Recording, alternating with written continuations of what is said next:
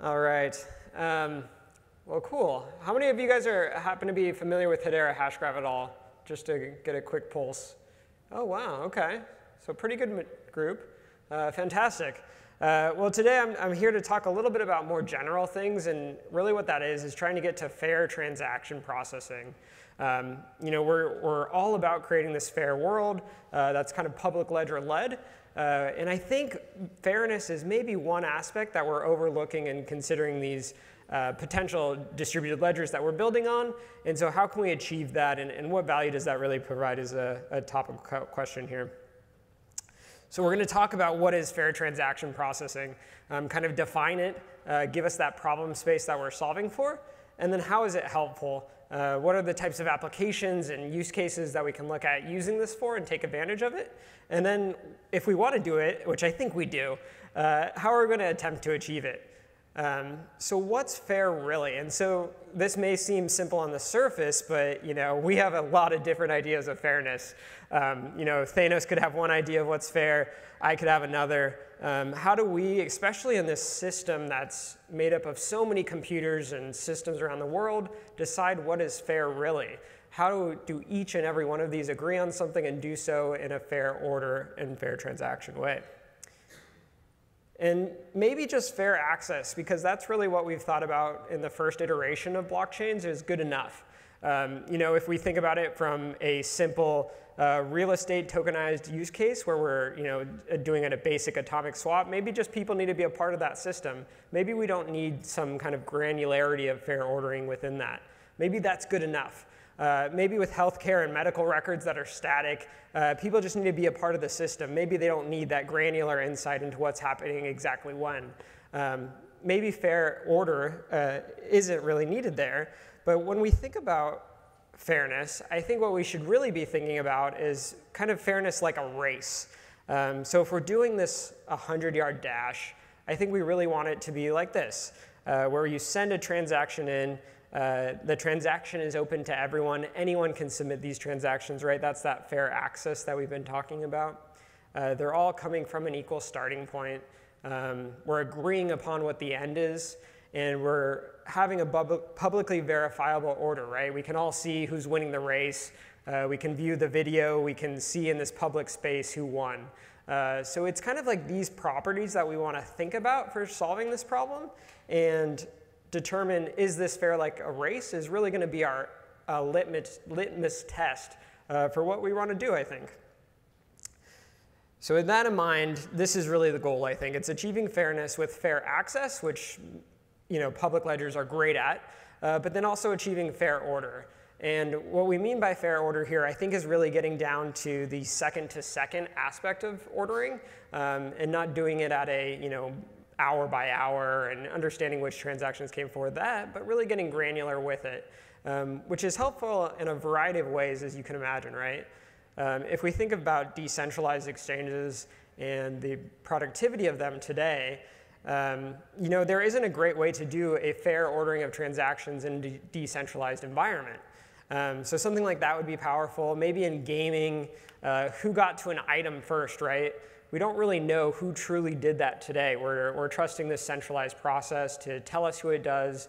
And in esports, we're spending millions of dollars trusting that, right? And it, you can imagine over time, the, the rise and rise of esports, we're going to be trying to invest more in understanding that at a very granular, fair order level. Um, so just another mechanism that we can do and, and toolkit that we can have for being decentralized and creating a valuable solution there. Uh, and then matching, right? Like one of the canonical use cases in the space that we're trying to work towards is like a decentralized Uber, uh, which we're very far away from, don't get me wrong, but having that kind of bid and asking, uh, similar to an exchange where we know what's coming in, we know who's requesting that first, and we're providing a fair access and order to those rides or whatever it may be. Um, so this is just a little bit of how we can start to think about the value of being truly fair uh, and start to integrate that into our systems. Uh, so definitely a variety of use cases that we can consider, a variety of industries. It can be pretty powerful, um, but it's not so simple, right? There's, you know, it's often debated within many different circles of, of you know, what that granular timestamp is and, and who did the thing first, right? Uh, this is a common problem in, you know, not just our world, but others. And so let's go back to really that, that decentralized network that we're using and, and operating with. Um, so we have these variety of computers all around the world, um, and we need to understand where is that finish line? Who decides who crossed that finish line first? And we need to do it all in a very transparent way that we can all uh, trust.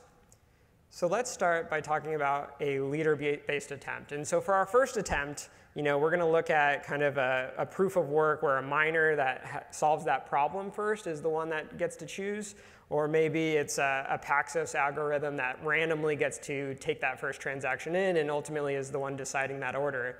Um, so you're getting this kind of uh, system where the transactions are coming in and you're trusting whatever that leader's telling you.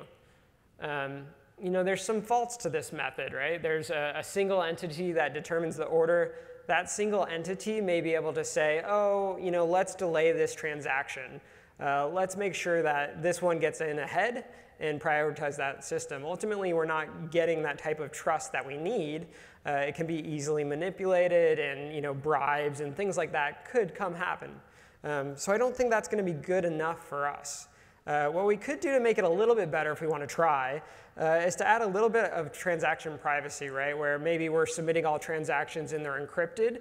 Um, but at the same time, you can still have this metadata of the transaction. So how do you really understand, okay, no one else is going to be able to tell them what that metadata is, and they're not going to be able to figure it out and manipulate it in a way. I, so I, ultimately, I don't think this is the right solution for, for really achieving this. And then we could just say, okay, we're going to randomize the order at the end here, and uh, we don't really care about that. But I don't think that solves the problem either. Um, and so fundamentally, I don't think this leader-based approach is going to work out for us. Um, let's start to look at maybe another attempt here. Uh, go forward here. And so we could start to say, okay, it's not this one leader. Maybe the, the end users want to choose that, right? Maybe the client is what ultimately decides it. So we start by looking at the transaction created time. So a transaction comes in, and, and maybe you make that right now. Um, and maybe that works out, right? Like maybe I do a transaction, you do a transaction, and we can see very clearly. Um, but ultimately, you know, what happens if that transaction fails? What happens if I'm in a bunker for a year and I wanted to do a transaction today, but then I come out of it in a year from now? How do we decide what is fair in that scenario? Are we going to be able to say, okay, this transaction came in that year from now? Should we reorg everything and move it back to where it actually happened from the client side? Um, it's very, you know, lots of failure scenarios here. I'm not even quite sure how we do it, uh, to be honest with you. But it doesn't account for these failure scenarios. And you have to end up trusting this single device ultimately, which is not, so good, um, as you can imagine. So, okay, I don't think this is going to be our endpoint either, but there are some good things that we like about this, right? Um, we're trying to make sure that we understand that the failure scenarios that could occur, uh, we don't want just a single entity to be telling us this notion of what's fair and what's the fair order is. We want something more than that, right? We want multiple computers to be doing this, multiple people to participate. Um, we need something like you know, reaching a percentage of the network. So what if we consider uh, really just a transaction, sending it in and saying, okay, once it reaches 100% of the network, that's what we're going to say is the time, and we're going to order it as such. Um, so this is kind of good theoretically, right? Like if everything's working, it's all going to be good. But you know, as soon as one of these nodes goes down, uh, what do we do then, right? Do we just wait for them to come back online? Uh, I don't think that's going to work, right? As if you were running a node or you're this small group, you could say at any point, oh, I'm going to go down and I'm not going to take this transaction. Uh, and that's going to ruin that order. And so in those scenarios, like, what do we do? Um, and so we have to say, like, you know, I think we're onto something here. We want some type of multiple people participating in this ordering system.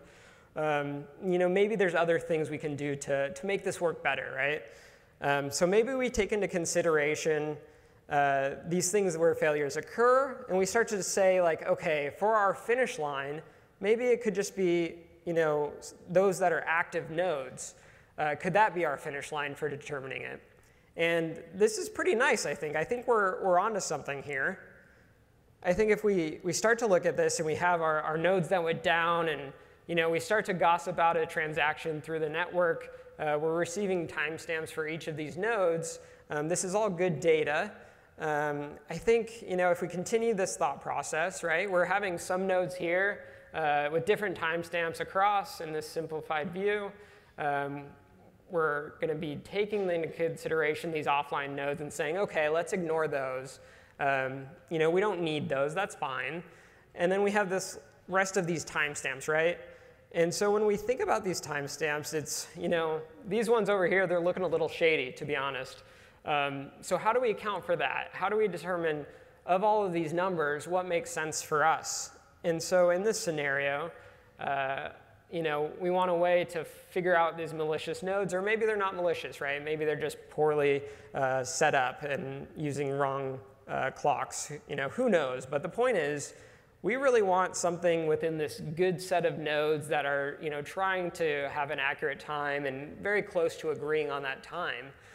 And so I think what we could do is take the median of all of these timestamps, right? Um, and, and we take that median of the timestamps and we say that that is the consensus timestamp. And so this is pretty powerful. Um, we have our transaction coming in.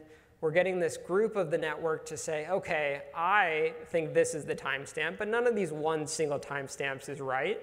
What if we factor in what everybody else thinks? And then what if we want to say between these two good actors, these two good nodes, let's agree on that timestamp. That feels right to me. I think, you know, if we think back to our race thing, uh, we're getting the fair access. We're saying everybody can submit transactions to the network. We're taking those transactions, we're sending them throughout the network, this agreed upon public group that's viewing this race, and ultimately they are collectively deciding with a very transparent way of where the race ends to say, yeah, this is the time. And we can therefore take these times and compare them to each other, and we get this really powerful notion of fair ordering within a decentralized environment, which is a hard problem. Um, and so I think this is what we, we'd like to go with. And I think this achieves our end state, right? Um, we're able to see that race take place. Everyone's playing on the same even playing field, and we know within seconds uh, really who's ordering who, like who beat who, right? Um, and so it's pretty powerful. And so with that, um, my good friend uh, Atul here, who's sitting here, has come up with smarter words than I. And he's tried to define this in, in a really pragmatic way, right? Where we're saying, you know, okay, within an atomic broadcast protocol like Hashgraph, uh, we could define fairness of transaction processing in this way, right? We have the majority of honest nodes are in the network, and within those nodes, we're going to take the median time timestamp of those nodes, and we're going to agree that that received time of an honest node is going to be between those two nodes. And, and with that, it's a pretty powerful ar argument, I think, for what, how we can define fair transaction processing. Um, and so that's, you know, obviously, I'm a little biased here, but that's uh, what Hedera Hashgraph ultimately does, right? We're this fast, fair, and secure public ledger. Um, and we are uh, trying to achieve that fairness proper property by being this leaderless system uh, that doesn't take any you know, single computer or entity deciding what's fair. Uh, it's fault tolerant, it's asynchronous Byzantine fault tolerant, so it's really factoring in this bevy of you know, failure scenarios and trying to consider around those uh, to really guarantee that you're getting that consensus timestamp in really any situation. Uh, you're able to submit to any node, so you're, you're having fair access to the network, and you're able to see within you know, a few seconds that transaction going through. You're, you're not going to be subjected to bribes. And if there is a node that's not willing to take a transaction or process that transaction quickly, you're able to see that very transparently uh, and have the freedom uh, to use another node. So I think this is all checking the right boxes here uh, when we think about fair transaction processing. And so for just a quick primer, I, I, know some people here are familiar with Hedera already. Uh, we actually launched, uh, not launched, but we made available to everyone our mainnet uh, just about six weeks ago, I want to say.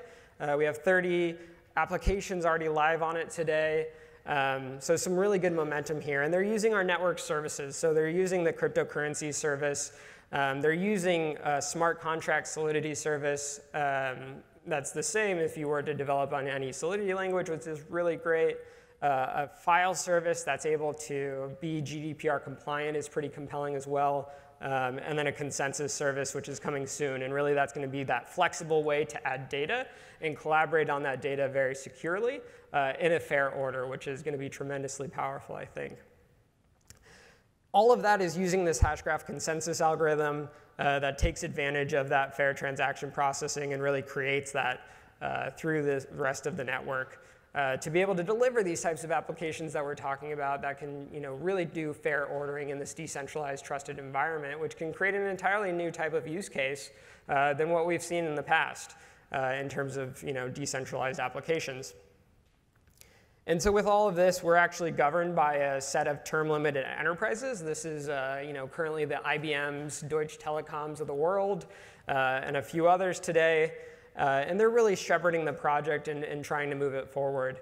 Um, so it's not just all of these, you know, it's not just fairness that we care about, but it's really these properties here where we're trying to build this public ledger that's highly performant with, you know, 10,000 transactions per second. Uh, it's secure, as we mentioned, very fault tolerant. Uh, and then you're getting the stability and the governance uh, with strong enter enterprise leadership. And so I think it's with all these things in combination that we're really excited about it, and a lot of the applications on us are as well. Um, and so here's a few of them. As I mentioned, uh, some of the council members that are you know, working with us on trying to deploy this and, and running some of our nodes today. Uh, and then uh, some of the exciting apps and, and, projects in this space that we're, really excited about. Um, and with that really concludes my talk. I think we're you know, doing a really good job of establishing a new era of fairness as a community. I think if we can consider you know, fair ordering as part of that, we can start to build some really interesting and, and powerful applications. Uh, I'd, I'd be happy to take any questions that you all have.